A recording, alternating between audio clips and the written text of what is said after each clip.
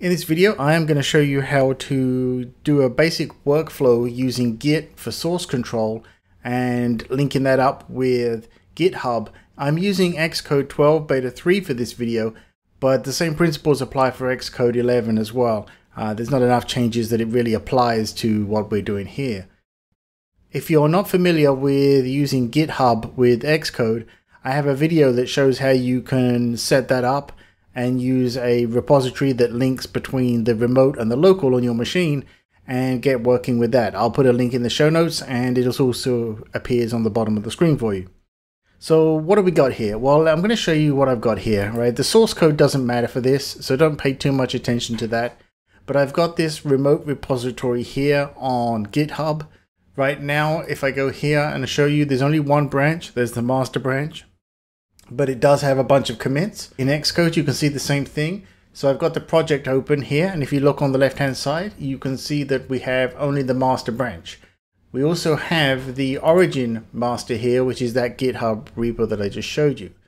Now, in order to demonstrate sort of a basic workflow here, we're going to have to do a few things. So what I'm going to do is I'm just going to take a file here and I'm just going to make a change because right now what you'll notice if I go over to the source control tab, I don't have any changes to commit. If I go up to the menu and choose source control commit or option command C, you'll see there are no changes. Everything's up to date.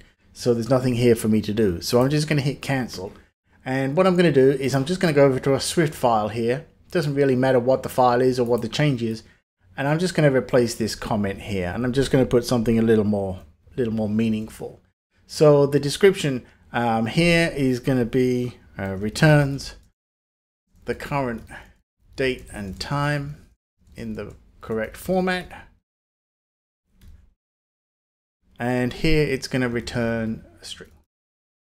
A string of the correct, the formatted date and time. And I'm just going to save that. Doesn't matter what it is. Like I say, for the purpose of this video, I just need to make a change.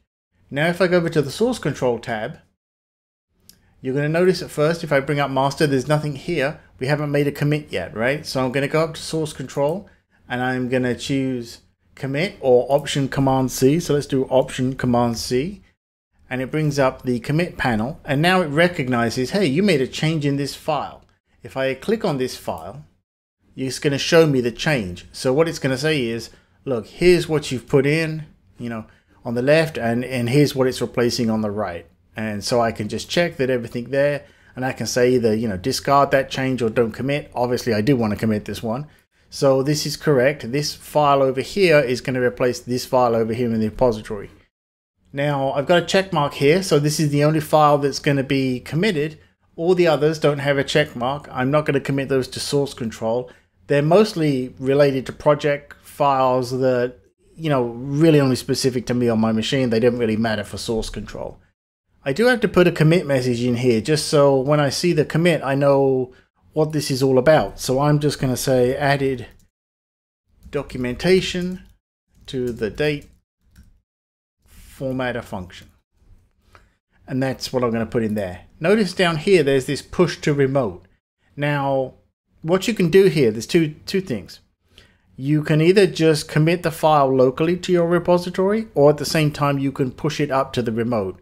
I'll be honest, I always check this box and push it up to the remote so I can push it to master. So I'm just going to say commit one file and push. It's going to take a few seconds here. So you'll see that the list here is updated and at the top here it shows me that the origin master, which is the remote one, this one here, right, this remote, and my master branch now both have this new commit. You can see the, you know, the information over here. There's the commit message and the file. So that's happened locally. Let's go over to the web browser here. And if I just go back to the main repository here, you'll see that 30 seconds ago, I updated this file and everything's good, right? So that's a basic commit. Now let's cover something else. Let's say, you know, there's a common flow here, right? This master branch, you should never really work on the master branch, even if you, you work by yourself. Now, let's say that I want to make uh, a change that I'm not sure about. All right, maybe it's a new feature or I want to do some refactoring, something else.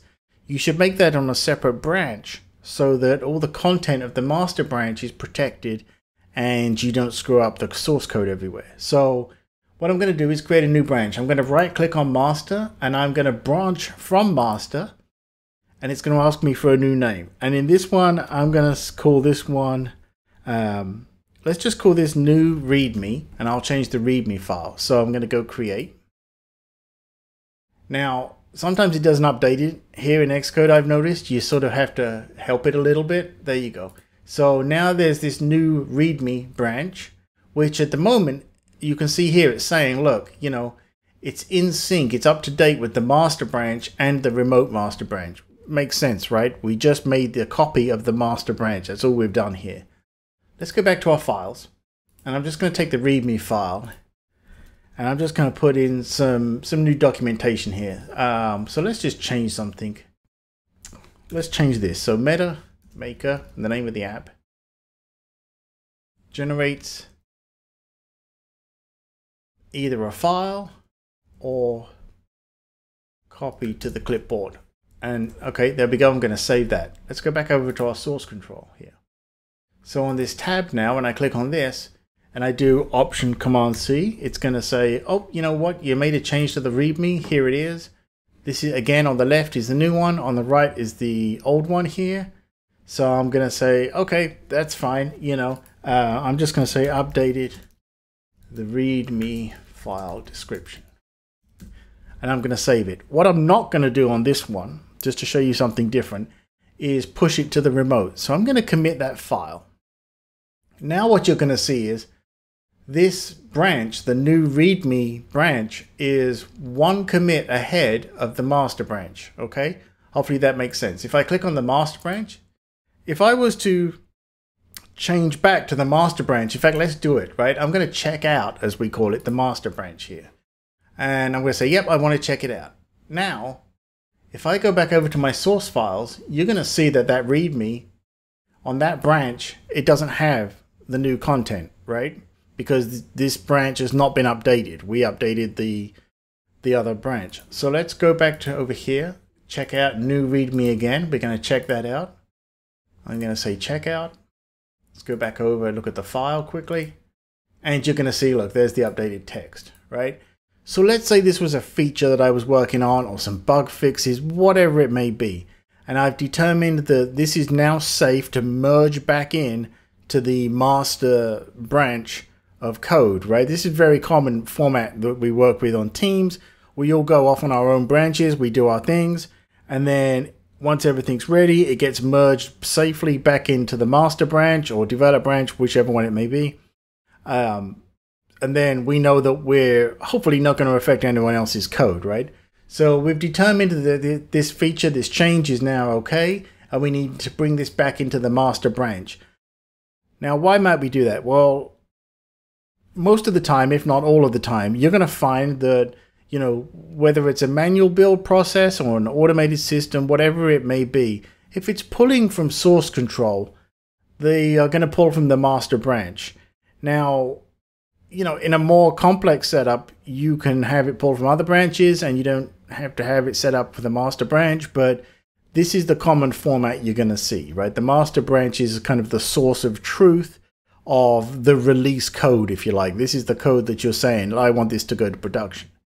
So let's say that any changes, and I can make as many commits as I want in here. I've only made one. You know, there could be hundreds of different commits, right? And so at this point, the new README branch is further ahead. It has newer content than the master branch. So what I need to do now is merge that new README branch back into master and pull in all those changes that I've made. So what I'm going to do is I'm going to check out master. And then on the new README branch here, I'm going to say, okay, I need to merge new README into master. Now it's important that you, you know, you make sure you get this the right way, right? And you know, before you do it, always stop and read it and make sure you got it the right way around. So, you know, again, I'm on the master branch. This is my current branch. And I want to bring the changes from new README over into master. And that's what we're going to do. So notice again, the master branch at the moment, right? The remote branch, uh, the remote repository, sorry, and the local one are in sync on the master branch, and the last commit was added documentation to the date formatter function. So now again, I'm going to right click on new readme and I'm going to merge into master. So I'm going to click there and it's going to say, are you really sure you want to do that? And I'm going to say, yes, merge it. Now, there may be situations where you have conflicts and that's slightly more advanced. We're not going to cover that in this video, but you'll see here now, master branch has that new commit that we made, right? It's got the commit that we made on the new readme branch. And you know this as well because look, it's saying here the master branch and the new readme branch are in sync and they're both at the same point, okay? And also notice the remote branch master, the remote repository on GitHub is now further behind our local one, right? Because we've made the changes locally, we merged in that content, but we haven't pushed it to the remote repository. So at the moment, if anyone else was using this code and they pulled down that repository or that master branch from the re remote repository, they won't get this new merge commit that we've made here because it only exists for us. And as a further pointer, we know this because if you look on the left here, there's an up arrow with a 1. And that 1 and the arrow is saying, as you can see in the tooltip, we are one commit ahead of the remote repository, which we also know when we look here. So what we now need to do is we need to push this merge that we've made up to the remote repository. So I'm just going to go up to the menu, go source control and push. And when I do that, it's going to say, okay, you know, which one do you want to push it to? I do want to push it to the remote master. And I'm just going to say push. And now that I've done that, you can see that not only are my two local branches but also my re remote one are now in sync and they're all up to date and everything's current. We can check that again if we go back over to the web here and I'm just going to refresh this. We can immediately see the change here because of the readme file, right? This is the change that we made and the readme file by default is going to be displayed on GitHub. But we can go over and we can also look here and we can see, you know, um, six minutes ago, right? Update updated the README file description, readme.md, and then there's our previous one from eight minutes ago.